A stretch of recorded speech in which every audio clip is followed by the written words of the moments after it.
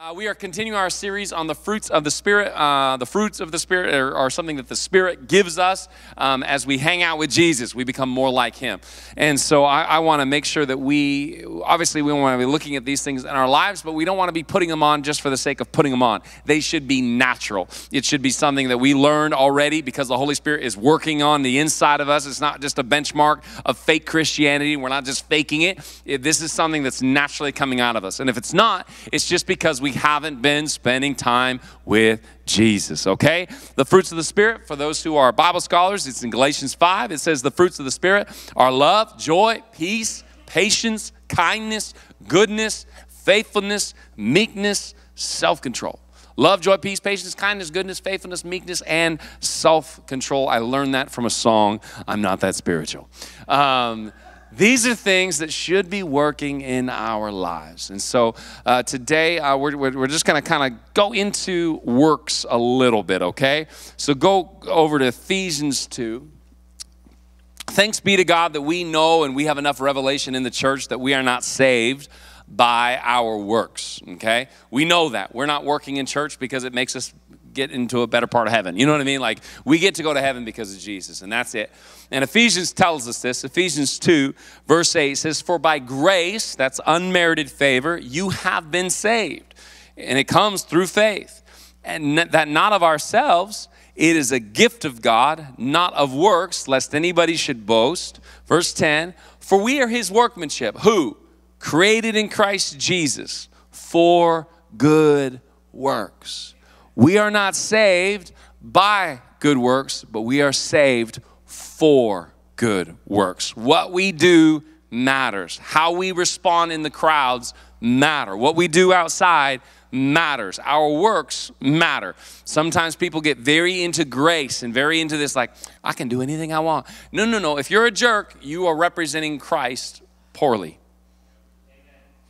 Nobody cares about your Jesus if you are mean. You know what I'm saying? And so we want to be, we, we want to stir up good works. We want to stir up love today, and that's kind of what we're talking about. Talking about ex, uh, uh, uh, extravagant love. Okay, let's. If you're writing notes and you need a couple of notes to get into heaven, so we believe in notes and it's good. So write them down. Maybe I, I, if you're new to a church setting, sometimes people bring in journals and things like that. Um, I do encourage you to, if you're hearing something that you like, get in your phone note and say, "Oh, I like that." Write it down. And by doing that, what that does is it really it kind of settles things in your heart sometimes. Okay, uh, let's pray. Father, we thank you for the word. Help me preach. Help them listen. I pray for uh, just a moving, a stirring, a wind of the Holy Spirit that only you can bring. And uh, Lord, open up our eyes. We want to see and love people like you do. Father, help us see that our works matter. What we do and how we respond to our believing uh, by our actions is what you are after. We thank you so much for it. In Jesus' name, everybody said, Amen. I grew up kind of poor. I don't know if you can relate, but we were so poor, it was like beans and rice and Jesus Christ, okay? Um, we were broke. Uh, we, you know, we sometimes kids did football, and I didn't even ask for football because it was like 235 bucks, and I like, like, what's the point of even asking? It's no. And so we didn't play sports. We didn't. And now you guys are instantly feeling sorry for your your pastor. You're like, oh no, he's so poor. This is how it was. And so we, uh, thanks be to God, um, we, you know, we, we, we survived. We were, ha- we were poor, but we were happy. You know, like life was good. Like we were all right. Uh, and so it turned out actually it helped me in many ways because we learned how to work. And we learned that if you want anything, you go get it. And so um, I actually am very grateful for that. And it made me kind of a tougher, kind of a grittier, you know, one thing. Even at 18, I was like, I'm not going to be poor. I just knew it, and, and I'm not. And thanks be to God, God is faithful. And so, um, but in those times, I believe I saw the hand of God moving through other Christians in our lives because they were moved to works. They, were, they, they did something uh, uh, about our poverty and I believe it was done by God. Our, our, senior pastor, one of those days, I was probably third grade, second grade, and we were eating our normal beans and rice. We thought it was great. And uh, somehow they got wind of it that we didn't have much food at home. And so they got my, my our, our senior pastor, Pastor Rod, took my mom uh, to Waremart Foods. And we began to fill up not one cart, but two carts full of food. And this was a moment in our lives that I was like, oh my goodness Jesus was working through our pastor to really just take care of basic food needs for a family. And I know it was impactful. It was impactful for me. I remember I remember like going through the aisles, riding on the carts, and pastor was I think a couple of times like they were like, "What do you want?" Like and we were like bread, I guess. You know, it was, if you've ever been a part of something like that, it's very humbling and it's very like, you're trying not to like, hopefully you don't go like, all right, let's go get some steak and lobster, guys. Like, you're very like frugal, even with your shopping, and pastors like throwing stuff in their cart. And we went home with just a full, a cupboard full of food. And how many knows his faith, his love for Jesus produced action and it produced works that blessed our family and it was very impactful. And I really believe most likely it settled some things in my mother and some settled things. It was a young Christian family that, that now further believe because of this investment. And, and, and so, and there was another time I was a young preacher. I was probably 14, 13, and pastor had asked me to preach. This was one of my very first times preaching. I, he asked me to preach to the Sunday night crowd. And back then we enjoyed church, uh, church in suits and stuff. Like, like I don't know why. We just thought Jesus liked us dressing up better. And so we dressed up in suits back then. And so I didn't have a suit, and you couldn't possibly preach without one. And so I think pastor, and he says, let's go to J.C. Penney's, and he bought me a suit. And I just remember they, these little actions of he, he bought me a suit, full suit, tie, everything. I looked sharp and I would look like a new dollar bill. I cleaned up well. And it was because of his faith in Jesus, he produced actions, produced works. And I want to stir us up today. You cannot love Jesus and not love people and do stuff for people. Our faith is not built on our works, but our faith should be producing works. We are not saved by works, but we should be we are saved for works. And let me show you, let me prove this to you. In James, it says faith without works is dead, meaning um, sometimes people are like, well, I'm a Christian. This is actually very common in the world. People say, I'm, you know, it's just an internal thing. You know, I just, I'm religious, but it's just kind of, it's, it just affects me. You know, it's private. I don't really believe in the organized religion thing and I just, you know, I'm just internal about my religion. No, that's not what Jesus says. Jesus says if your faith, it should be speaking. It should be loud. And people should will know that you're, you're, you're saved because of your love for people. Remember, we talked just a couple weeks ago, we talked about we getting this right, with this vibrant relationship, with this extravagant love that God has for us, we can't help but love people. It's the, it's the image of the cross.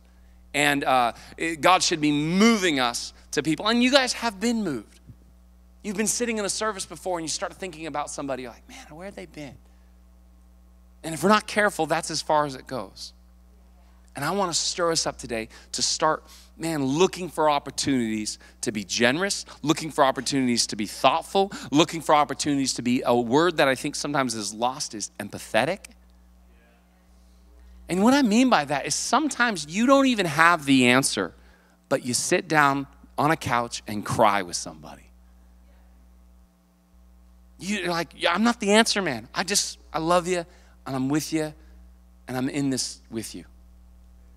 And that's sometimes all we do, but it's because we care about people, okay? Our faith will produce works. Look at this. It says, uh, James 2, verse 14 says, What good is it, dear brothers and sisters, if you say you have faith but do not, do not show it by your actions? I'm a Christian. Really? What have you done lately? Can that kind of faith save anybody? Obviously, the answer is no. Verse 15 Suppose you see a brother and sister who has no food or clothing and say, Goodbye. And you do this with a religious goodbye and have a good day. Jesus loves you. Stay warm and eat well. but if you don't give that person any food or clothing, what good does that do? So you see, faith by itself isn't enough. Unless it produces good deeds, it is dead and useless. Our faith should be producing actions. Paul, uh, uh, actually, John the Baptist said it this way we should be bearing fruit worthy of repentance. We, we say we're saved, we say we love people, we say we care about people, but are we showing it with our actions? Do people in your office like you? Well, just everywhere I go, my people in my office, they don't like me. Well, well keep going. So you see, faith by itself isn't enough unless it produces good deeds. It's dead and useless. Now, someone may argue, some people have faith, others have good deeds. But I say, how can you show me your faith if you don't have good deeds? I will show you my faith by my good deeds. I'm going to demonstrate. I, am I'm, gonna, I'm not only going to talk the game of I love Jesus, I'm going to show you that I love Jesus. And guys, this is something we have to look for and not overlook. I'm going to say that again. This is something we have to look for and not just overlook. Be like, ah, yeah, I should, eh, I'm too busy. This is going to take time. This is going to take money. This is going to take your attention. You ever bought a car before and all of a sudden you realize everybody else is copying you and bought the same car? Guess what? They probably bought the car before you. Your eyes were just open to it. You're not that popular, right? Uh, I preached a message just recently and youth said, You're not that cool. Okay, so it's just not we're not that cool, okay? But what happened was our eyes were open to it, and all of a sudden we saw it. And I, and I think, church, if we're not careful, we become so busy. Man, we are busy, aren't we? Every day. Like, I don't know about you, but I fill up my schedule. I like say, oh, I got some time. Let's plan something. And we're always busy. We are running. We are fast society. We have 24 hours news, and we have Facebook that we're always on, and Instagram, and comparing, and everybody got to get to the pumpkin patch because that's what we do. We go to the pumpkin patch, and then if you don't go to the pumpkin patch, you're a bad parent, you better be at the pumpkin patch and you better take a bunch of pictures at the pumpkin patch so that everybody knows that you're a good parent at the pumpkin patch. And, you, and we're busy. And we're busy doing the wrong things, overlooking people, pinning the world against the church, us against them. Too busy. You know, I go into I go into settings sometimes, and I like to just kind of wreck things in restaurants, and I'm loud, and I just like to bug. I want people to think at the end of the day, like that guy was different. If nothing else, I want that. I want that response. Um, sometimes it's for the wrong reasons. Anyway, but so I just like that guy is off. You know, something's weird about that guy. And so I, I, I'm loud and I'm boisterous, and sometimes I want people to respond a certain way, and if they're not kind of giving it back to me, I'll be like, well, what's wrong with you? You know? I remember this one time we came into a restaurant i'm boisterous loud like hey how you doing? Good to see you i'm alive in christ. And like this lady behind the counter was like hello. I was like i'm gonna pep you up. And i said you know so i, I go and start like kind of like telling jokes oh, who knows? I'm just, and she is just not responding. And then finally i get offended. I'm like well you need to change your attitude you need to take a nap, you know, like, you know, to go to bed, you know, like, you, you just having a, a, gnarly day and you need Jesus and I'm to give him to you. I'm to give him to you whether you want him or not. Open up. And like, so I'm just a little bit too much. And this woman, her boss comes by and I'm, only, I'm telling my wife, I'm like, you, you know, look at this poor customer service. I'm to write a review. I'm to yelp. I'm to, I'm yelping you right now. Yelping her boss moves her aside. Says, "Hey, say, say, sorry, sorry for her attitude. We just got robbed, and she was robbed, and she was the one that that that. Um, I'm, I'm, sorry. She's she's gonna go home, and sorry for." And I was just like, I feel like a jerk. I feel like a jerk. Sorry, and you know, all of a sudden, my Jesus didn't matter anymore. I wasn't, didn't even know what she was going through, and people are going through. You don't even know what. And if we're not sensitive, if we're not empathetic, we don't have a clue. Now, listen to me very closely. This is something, right now, there's a war, if you may, in our country. Our country's in a weird, divisive, at least on Facebook, right? It's ugly, it's divisive, and it's turned into kind of sometimes, I'm just gonna kind of say the conservatives against um, you know, the liberals, but sometimes a lot of the conservatives, they're the Christian white folk. And it's, and it's just ugly. And there's battling and there's division. And I, I say this just from a church's standpoint God is nowhere in it. God loves people. He is not Democrat. He is not Republican. He is not American. And I understand there's some liberal logic and some conservative logic that if you sat down, you could see both sides. But as Christians, as people, we want to be on the side of loving people, period. That means sometimes we are with them in their feelings. Whether their feelings are real, justified, not justified, we don't care. We're with you. Does that make sense? There's people in even in this room because of the color of their skin, because of the, where their family came from, they're nervous about the president. And how dare we walk up to them and be like, get over yourself. Just like your family needs to just get over that. Really? Where's the empathy? Where's the love for Christ? Where's, where's, where's the, the unity? Where's the bringing them in, inclusive? Rather than, than you need to just change your thinking. Well, maybe you could just change your thinking. Maybe we could just love people, period. And, I, and this is something I believe that God wants us to stir up. Why? Why do we want to stir up good works? Why? So people can be reached for Christ, period. Nothing else. They would see our good works and glorify our Father in heaven. That's it. And in church, if we're not careful, we become almost us against them. We know better, and ooh, the world. And, and I said this we have a, a, a house that is on fire, that our world is in it. And thanks be to God, we got out. Some of you are, who are born again, you, you get to know that Jesus is your Lord and, and you rescued. It wasn't by your works, it wasn't by your good deeds, it wasn't because of, but if we're not careful, we're like high fiving our families and our friends. We're like, we're out, we're saved, hallelujah. While in the background, we hear the screams of the people still in. And we're sitting around happy, satisfied, while people are still dying. And, church, today I want to stir that up. It's not enough that we're good people. It's not enough that we believe in Jesus. It's not enough that we have faith. We must have the works that back it up. We must be empathetic towards people. We must stir up good works. Look for opportunities, not over like, man, God, who can I bless today? Who can I make somebody's day today? How can I encourage somebody today? I'm gonna wake up and I'm doing it on purpose. I'm not just, listen, so we've got a lot of self help books out there where people are sometimes killing their own, like doing it, a wonderful job on their own life. They're so introverted. You're winning in your business, you're winning in your family. Great. Have you helped anybody else today? Have you encouraged anybody else today? Have you made anybody else's day better? Has your faith encouraged somebody else? And I think the first step is just opening up our eyes to see it. Because it's, you know, self preservation is natural. I think right away we start just trying to rescue ourselves and taking good care of ourselves, and I get that. But we have to look up. Look at what, look what, uh, look what uh, I believe is Peter. We're going to go to uh, actually Hebrews 10 real quick. It says, Let us hold fast to our confession of faith. Hebrews 10 23. It says, Let us hold fast to our confession of faith without wavering, for he who promised is faithful. And let us consider one another in order to stir up love. What does that mean? You got to think about people. Hey, I wonder how they're doing. And guys, this is something, if you're, I don't do it naturally.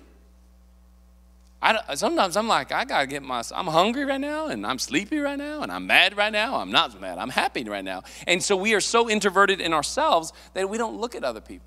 And so to consider other people, sometimes you're gonna have to shut up. I just said that in church. Sometimes you're gonna have to be quiet and you're gonna say, How are you doing? And then just do this. God gave you two ears and one mouth. We listen. And we don't come up, and sometimes guys, at least me, I do this with my wife. My wife starts talking to me, and I start like fixing all the problems. Like, well, you need to do this. And I'm like, I just need to be quiet and listen because she's not really looking for a problem fix. She's just listening, wanting somebody to listen and hear her. And, we, and we're with people in the trenches. We're, we're like, man, we're with you. We don't have all the answers, but we're with you. And guys, when we start showing this kind of love to our community, this place will be more full. And this is what I see. I saw this kind of in the spirit. I feel like, you know, I can reach one person and, and I can reach one person on this hand and, and I can hold two people. But that's really all, you know what I mean? That's sometimes we can only keep track of, of what we can keep track of. But if you reach out, you can keep track of one person. And if your, your other hand, you reach out, and all of a sudden we're reaching more people because each one of us, we're well, we're taken care of, we're out of the house. Now it's time that we reach out and we grab people. And there should be people in our lives that they're better because you're in their life. You're there for them, you're encouraging them, you're with them. They're gonna, they're, they're gonna do stupid things. Baby Christians do stupid things. And we're like, it's all right, I love you, I'm still with you. And we just constantly encourage, constantly uplift, constantly. The, uh, Paul said it this way He says, I am all things to all people that I might win one more.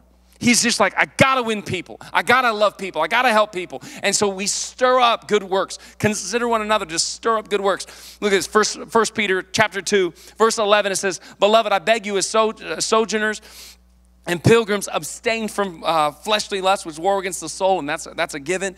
But having your conduct honorable among the Gentiles, that when they speak against you as evildoers, they may, by your good works, which they observe, glorify God in the day of visitation.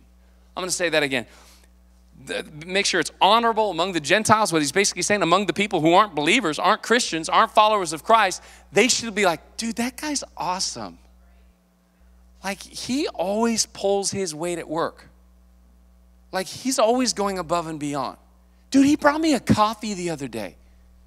Dude, he's always trying to pay for my lunch. Like, what is his deal? He's ridiculous. He's ridiculous. Every single time, he's just, man, he's encouraging. Why? So they can see your good works and glorify God. Church, what would it look like if we had a church community that was crazy, ridiculously, extravagantly in love with people? What would it look like? We wouldn't have to try and convince people to come to church and be like, hey, I got a thing on Sunday. You want to come? They're like, yes, yes. Where, where, where are we going? They like you. And sometimes we offend people and we do it in the name of Christianity. We're like, well, that's just the way I am. I, um, they're offended for the truth. No, they're offended because you're mean. They're offended because you're a jerk. You're not very nice. Well, no, it's just the gospel coming through. The gospel is good news. It's exciting. It's, it's, it's, it's very attractive, and somehow we messed it up. Right now, Pastor Brian and I, we've done, we done, we went down and do some church stuff, trying to video people, and we're trying to get people's opinions that are not church people, right? So we're talking to them, video them, and literally, he can attest to this. We say, "Hey, do you have a second? I want to talk to you about some. We're from a local church," and instantly, you watch their face go, "To," and I don't even say nothing. I just said I'm from a local church. Finally, we, we decided like, let's not tell them we're from a church. Why? Because people are so done with church. Why? Judgmental, hypocritical, all of it. And listen, the church is God's idea. you can't read the Bible. The Bible says Christ is the head and, and the, the church is his body. And so we can't throw the church out. We can't be like, well, new religion, nope, where everybody's just going to be internal. No, they're not. They need the church. The church is for the equipping of the saints. The church should be a place where you come in, you feel uplifted, where anybody is welcome, they can leave changed. They can, in, they can meet Jesus. So what do we do? We have to change us. Empathy, empathy, empathy, empathy. Man, how you doing today? Can I be with you in this time? You're doing all right? And listen, I can't touch everybody. You can't touch everybody, but you can touch who you can touch. And if we just do our part, we begin to reach more people we begin to help more people. So the story in Luke chapter 10, this is the story of the Good Samaritan. And you know what, right, right now, if we're not careful, you can read through the news and you can start believing all the hype. We're like, we are as, we are as racist as we've ever been. We are really bad. No, they used to kill people. Like we've been, our human beings, not much less uh, the United States, we've done some terrible things. But humans in general, we're not very friendly to people. Like it's through history that we've been racist. It's through history that we, this is the nature of the flesh. It's ungodly. And anytime you have people with ungodliness, you'll have hate. So this is nothing new underneath the sun, but if you're not careful, you can believe the news and be like, this is what's happening. And it's a real problem. And Jesus was not impervious to this. He understood what was going on. And in that time, the Samaritans, they were the look down, lower class. Don't literally, they're walking toward me. You better move. You like if a Samaritan and a Jew were walking, the, the Samaritan better move aside. Lower class citizen.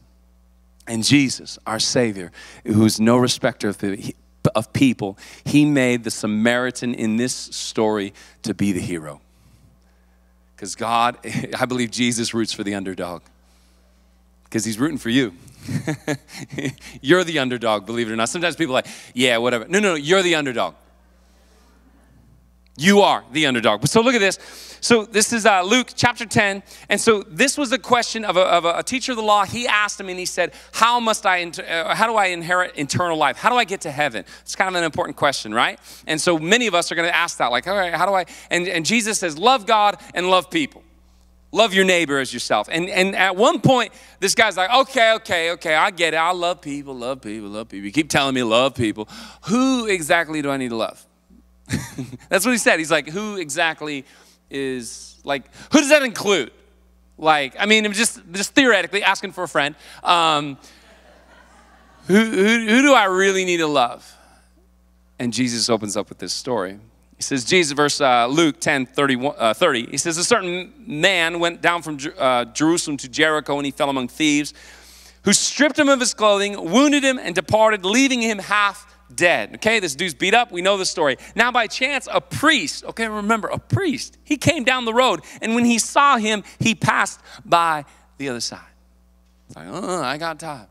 I got to go prepare the heavenly bread. You know, like he's busy. Too busy for people. Too busy to get messy. He's a priest. No, no, I got time. And when he saw him, he passed the other side. Likewise, a Levite. When he arrived in the place he came, he looked, he passed by the other side. And I love that. It says that he came and he looked. Sometimes that's us, isn't it? Like, oh, somebody needs to do something about that. Oh man, where have they been? Somebody should reach out to them. Man, man, there's families struggling. Somebody should give them some money and we notice things. We come over to situations and we look, oh, I, I don't have, I can't take care of that. And we walk away. We don't notice. And guys, we are our brother's keeper. These people in our lives, the people that you randomly think about, it's the leading of the Holy Spirit. And you should be aware of it. And, and not only just like, oh, I woke up at 3 a.m. the other day and I was just thinking about somebody. It was the weirdest thing.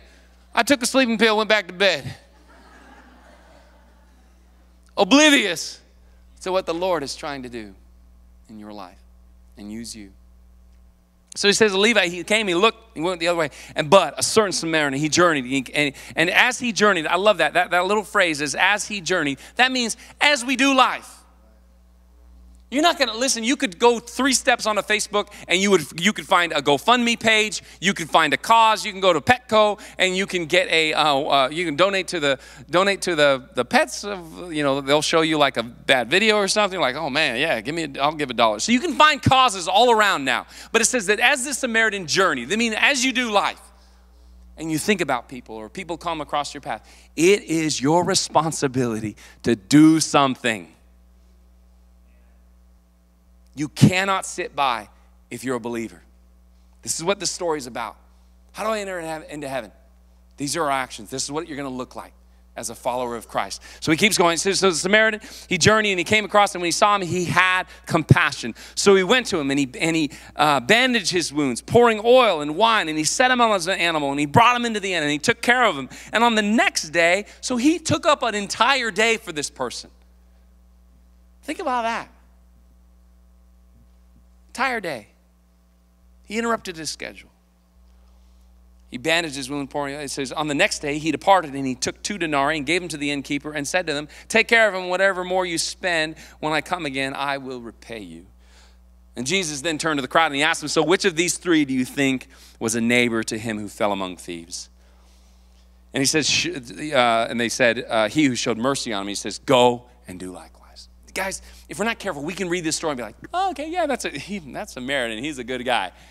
No, no, no. That's what Jesus was telling us to be. That's what Jesus was telling us to be. And so, guys, I want to encourage us. I want to stir us up for good works today. I want to stir us up. If your faith is real, if you've received love, it is time that we give love. And, and, if you're not careful, we can just overlook things. We can be like, yeah, whatever. Yeah, I don't got time. Yeah, I'm busy. I'm just not that. No, I'm not that way. No, no, get involved. I'm going to tell on us just a little bit. We had, a, we had an adopt block. And uh, we, don't, we don't really run, run, it too much anymore. We still got one with Tammy's, uh, Tammy and Vince still kind of run one. But we, we dropped it because we, we had three people showing up every Saturday. We're just busy, right? We don't have time for our community. Now, now I'm going to scare us, and I'm not, I don't want to put us into this place like, well, thanks, Pastor. I came to church, and now I feel like crap. I'm not coming next week. I don't want that attitude. I'm not trying to stir up that heart. I'm trying to stir us up to, if we have faith in Christ, it should be affecting others. And so we, we had adopt a block, and street people just showing up. But if I, if I said, hey, we're going to go on a mission trip, everybody, who wants to go? And we would pay large sums of money to take two weeks, three weeks out of our schedule. And we would go over to the world and we would post Instagram photos and how cool we are. And, and we would be like holding an orphan child, like, take my picture. I love Jesus. Yet we can't, it's two miles up the road to the adopt a block where I know kids need Jesus. Well, what's our problem? Our works. And I'm not trying to bug us, and we're not saved by these things, remember. But our faith in Christ should spur action. And so if you're interested in Adopt a Block, uh, right now it's currently shut down. But if you're like stirred, like, like Pastor Nate, we need to do something, I'm, I'm, I'm all for doing it again. I'm all for, but we need people.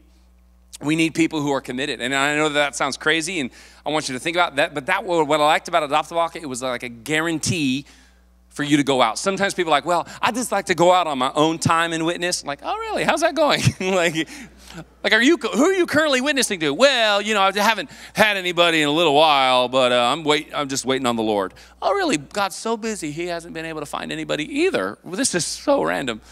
You see what I'm saying? So what I liked about Adopt a Block, it was guaranteed that Saturday you would go out and you would talk to somebody who needed Jesus. And I think we could be stirred up again to something like that. I think we could be stirred up again. I think if we're honest with ourselves, maybe we haven't been doing the works like we should. If we're honest, and I'm not, again, like I said, I'm not trying to, uh, I'm not trying to put us down. I got one more story for us. And this was a story, um, this is uh, Luke 7. Sometimes we start pinning ourselves against the world. Like, we're like, oh my gosh, they're so bad. And man, our society's getting really worse. And man, it's, and we almost stir up this like us against them mentality. And I always say this way guys, they're sinners. what do you expect a sinner to do? You expect a sinner to come up to you and pray for you? Do you expect a sinner to have your same morals and values when they don't believe your morals and values are, are, important?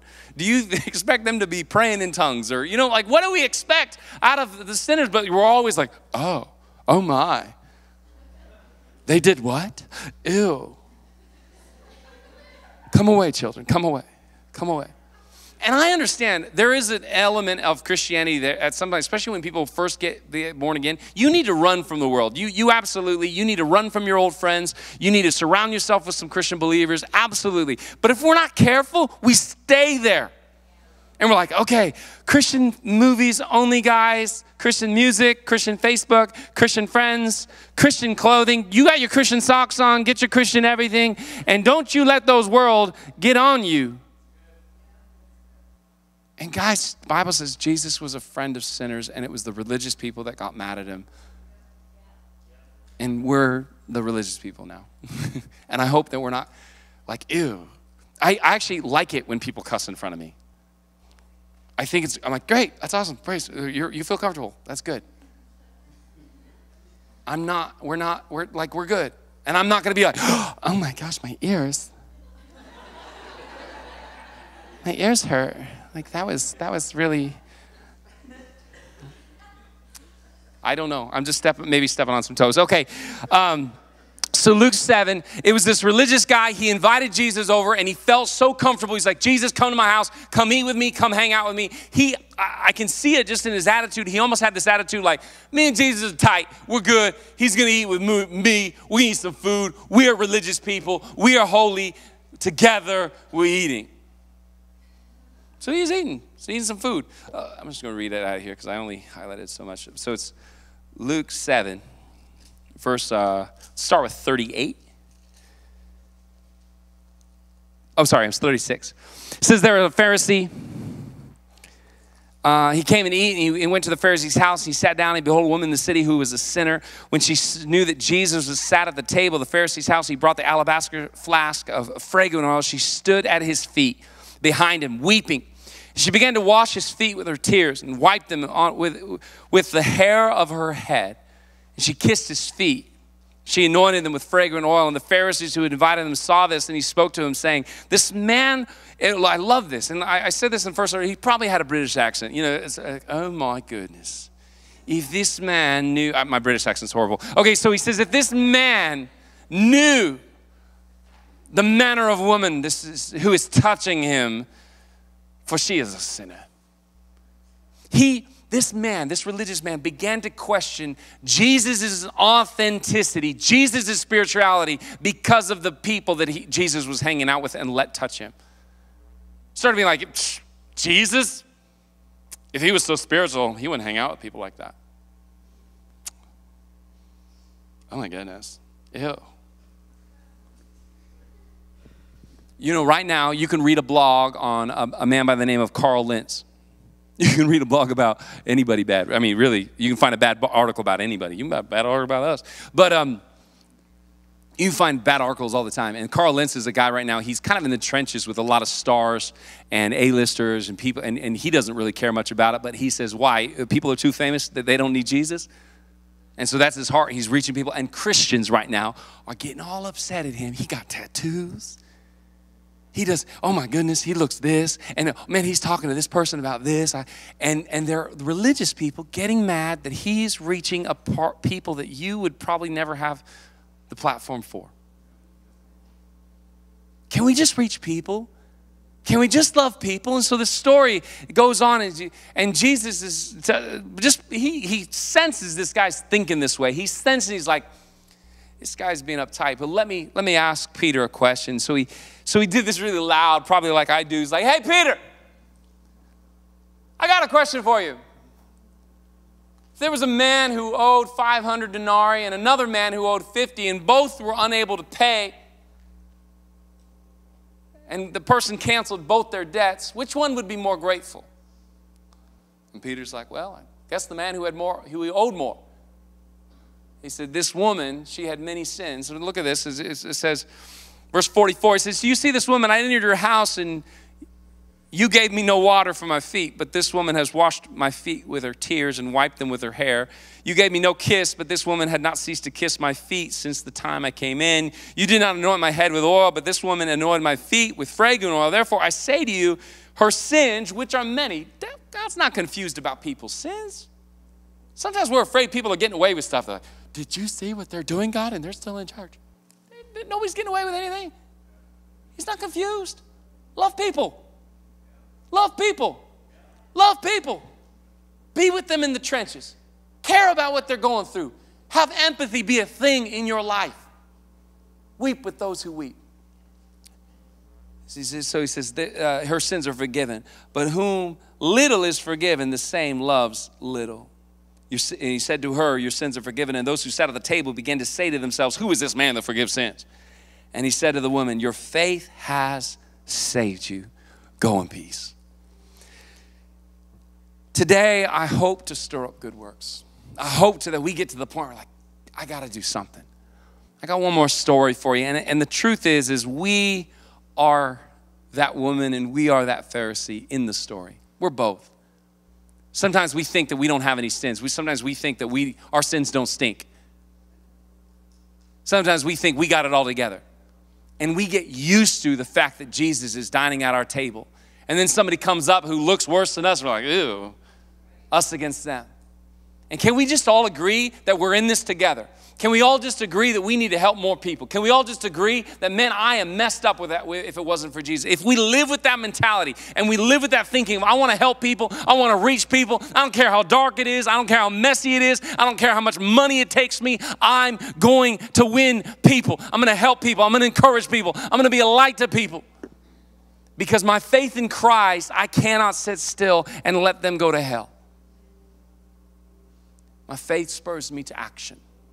My faith spurs me to movement. movement. We don't understand the depth of our love that our Father has for us. There was a story, this is a true story. We'll end with this. It's a true story of a, a man in Seattle, Washington. His son had uh, struggled with heroin addiction. Real deal. And that is something right now in our, if, if you're kind of uh, uh, aware of, uh, people are going through that struggle often. It's a big deal. It's taking apart families. It's, it's, it's, it's, a, it's, a, it's an ugly drug. And so this man, he's, he's working with his son, trying to get him off, off heroin. And finally, his son just runs away from home and, and he's in the streets. He's, this, this guy, this dad, this father, he's telling this to a pastor, and he says, I looked for him for months. They would meet once a, a, a week in cafe and say, Hey, man, you find your son? He said, No, I'm still looking for him. And this love of the Father, he continues to look for his son. And you can imagine what that search looks, looks like. He's not looking, he's not looking at the country clubs. He's not looking in the nice restaurants. He's looking in the, in the dark alleys. He says he's, he'd go out looking, looking, looking. Finally, he finds his son. He says, Son, come home. Let's get you off drugs. Let's get you, let's get you out of here. Let's, let's, let's, I'm with you. Man, come on, let's get you the help you need. And his son does something that sometimes we, when we reach out to people, they do to us. His son says, Dad, I'm not coming home. That's where I'm at. And you think in a situation like that, that's the time where we say, we give up. We say, all right, you made your bed, you lie in it. Fine. But that is not the love of a father. So you know what this dad did? Pastor looks across the table and says, What did you do? What are you going to do? What, you, what? He says, Well, I'm, I'm going to go buy a sleeping bag.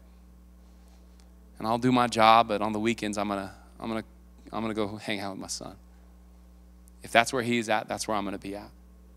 Because I, I love and I care about my son. Church, what would it look like if we chase people like that? Rather than fixing their problems, being like, well, just get off heroin, love Jesus. It's not that simple sometimes. It's not that easy sometimes. We all are sinners if it wasn't for Jesus. If it, if it wasn't for Christ, we would all be messed up. How big, uh, we cannot start this thing of us against them. We just, we're all in this together. And church, I want to stir us up for good works. I want to stir us up. That is a real story, and it's happening right now in Seattle. Love of a father. And that's the way God loves us, and that's the way we love people. Don't try to fix everybody. we're not going to be able to fix everybody, but also don't give up on people. Be with them in the trenches, be with them in their toughest hour. Stand with them because that's what Christ would do for us. Amen. Every head bowed, every eye closed. I want you to take an internal moment. If your relationship with Christ is authentic, if it's real, if it's extravagant, if you're really aware of how lost we really are, every one of us, this will spur us to movement with Him. This will spur us to movement helping other people. Father God, lift us up right now and, and lift us up as a church, as a community, and I pray for movement. I pray for authenticity. I pray for realness. I pray that, that, that we would see us for who we really are and that, Lord, we're really no better than anybody. Thanks be to God that we have been saved by grace. And Lord, now we are saved for good works. Lord, that we can go out and help people, that we can go out and reach people, that we can go out and love the unlovable, that we can, we can go to the trenches, we can go to the darkest places of our city and reach out